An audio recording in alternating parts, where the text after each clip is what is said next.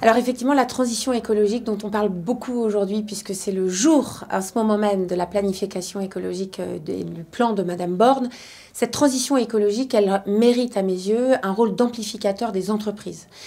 Euh, les entreprises, elles sont derrière le gouvernement. Elles ont décidé de suivre le plan de sobriété avec euh, le fait de, diminuer la température, euh, optimiser les flottes de voitures. Les entreprises le font, mais elles ont besoin d'un horizon. Elles ont besoin d'un horizon pour vraiment amplifier et accompagner trois choses pour l'horizon. D'une part, avoir des règles du jeu communes, parce que si on n'a pas des standards communs, en fait, chacun est assez libre d'interpréter les standards et les normes. Deux, avoir une comptabilité véritablement intégrée qui mette au même niveau les résultats financiers, les résultats écologiques et les résultats sociaux.